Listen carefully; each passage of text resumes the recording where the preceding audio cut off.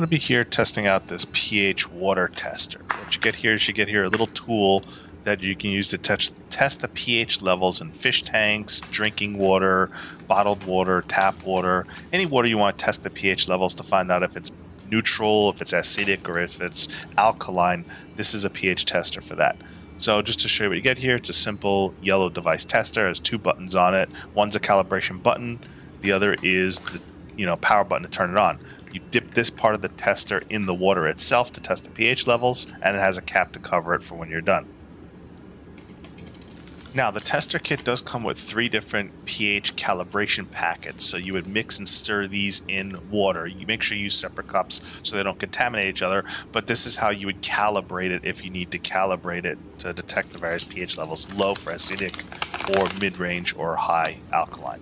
So you have the instructions here on how to use it, the specifications, the range method, and the level of accuracy that it has. Pretty easy to use. We're going to go ahead and test my tap water and compare it to this refreshed drinking water.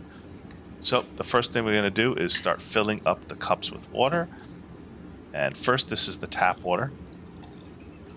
And again, I just took this right out of my sink. Don't fill it up too much. You only want to go to the tester part. You don't want it to go too high up on the tester tool press the on button and then stick it in the water. Now, I want you to stir it around a little bit before you set it.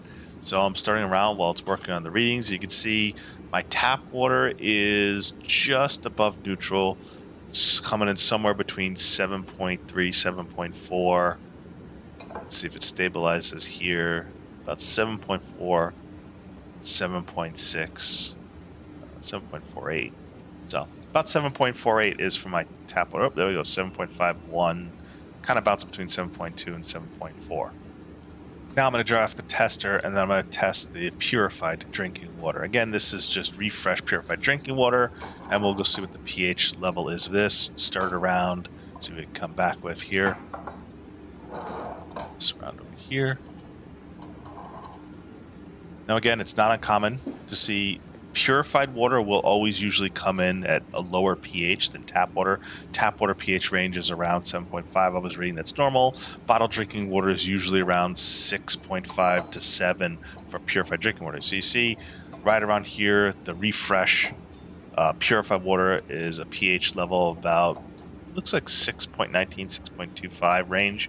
So slightly on the acidic, slightly under the base of 7 versus the tap water, which was slightly over the base of 7, in line with the 7.5. So again, you can see how the pH tester works. It test either your drinking water or fish tank water, but get the pH levels and find out how acidic or alkaline your water is. It works pretty well. You see it's stabilized here right around 605, 608.